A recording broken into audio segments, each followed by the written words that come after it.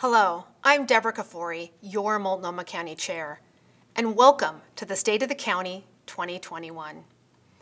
On a typical year, the state of the county is about ups and downs. This year, the state of the county is a state of emergency.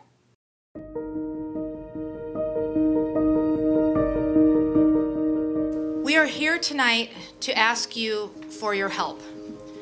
We are facing a virus, COVID 19, a virus that before January, no one in this country had ever seen.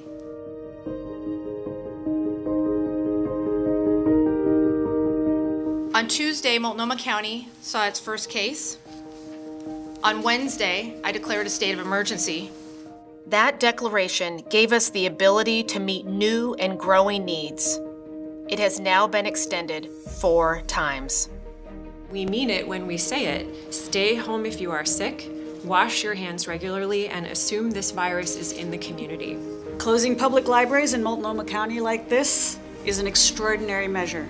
It's never happened in modern times. As of today, we are no longer allowing social visitation at our two jail facilities to help prevent any further spread of the virus. We know there are seniors who won't be seeing their friends. We know that there are thousands of kids who rely on school meals. What do we want? Justice! When do we want it? Now! As our country and our community faced this once in a century pandemic, we also faced a much older and no less deadly pandemic of racism. And systemic injustice.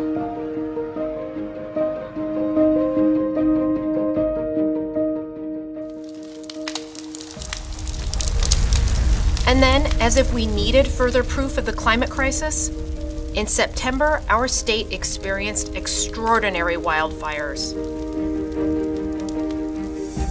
We faced choking, toxic smoke that blanketed our community for a record five days and drove thousands of Oregonians to flee to Multnomah County. In a typical year, any one of these events would have been daunting. Together, they have been traumatic, overwhelming, and gut wrenching.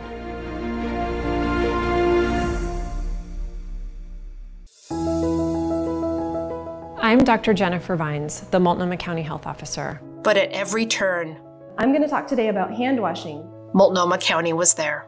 Today, I'm going to show you how to create a face covering.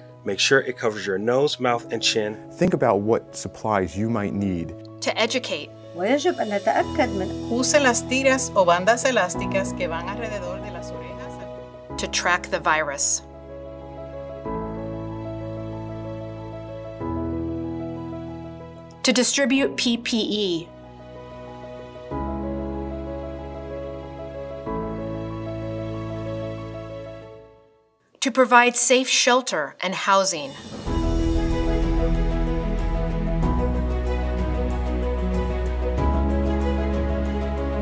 To organize meals. I have these moms and dads who say we can't really sleep because of the burden that they have to carry, that they don't have income, they don't know what to say to their kids in the morning. That's really what keeps us going every day. To hold fair elections. Again and again. To vaccinate.